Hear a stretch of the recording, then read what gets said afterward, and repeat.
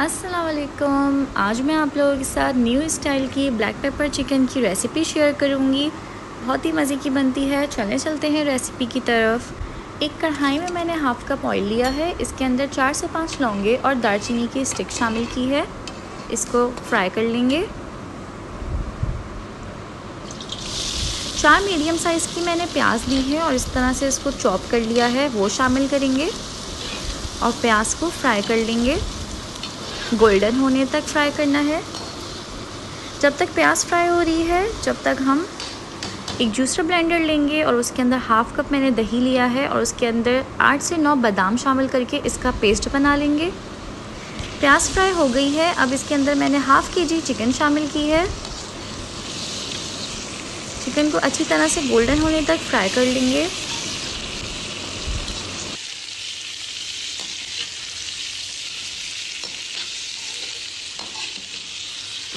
बहुत ही टेस्टी बहुत ही मज़े की रेसिपी है ये। आप लोग ज़रूर इस रेसिपी को ट्राई कीजिएगा और बहुत ही जल्दी से बन जाने वाली रेसिपी है ये।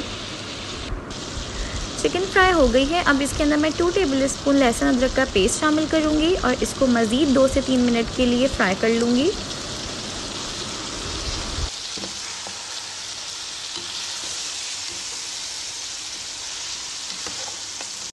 अब इसमें टू टीस्पून पिसी हुई काली मिर्च शामिल करूँगी। वन टीस्पून नमक शामिल करूँगी। नमक आप अपने टेस्ट के हिसाब से कम ज़्यादा कर सकते हैं। इसको अच्छी तरह से मिक्स कर लेना है।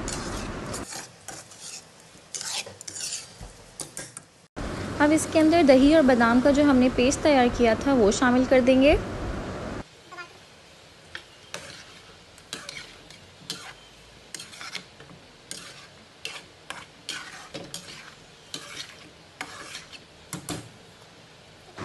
अब इसके अंदर मैं तीन से चार हरी मिर्ची काट कर डाल रही हूँ। आप अपने टेस्ट के हिसाब से कम ज़्यादा कर सकते हैं। हरी मिर्ची डालने के बाद इसको हम ढक कर लो फ्लेम पे 10 से 12 मिनट के लिए पका लेंगे, ताकि पानी खुश्क हो जाए और चिकन भी गल जाए। 10 मिनट हो गए हैं, अब हम चिकन को चेक कर लेंगे। ये देखिए, पानी खुश्क हो गया है और हमारी ग्रेवी भी बन गई है। हाफ़ टी स्पून मैंने इसके अंदर पिसा हुआ ज़ीरा शामिल किया है, इसको मिक्स कर लेंगे।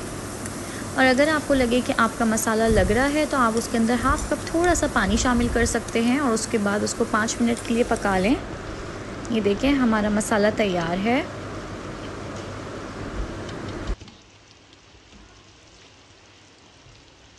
अब इसके अंदर मैं साबुत हरी मिर्ची शामिल कर रही हूँ और थोड़ा सा हरा धनिया शामिल करेंगे और इसको अच्छी तरह से मिक्स कर लेंगे। हमारी ब्लैक पेपर चिकन तैयार है।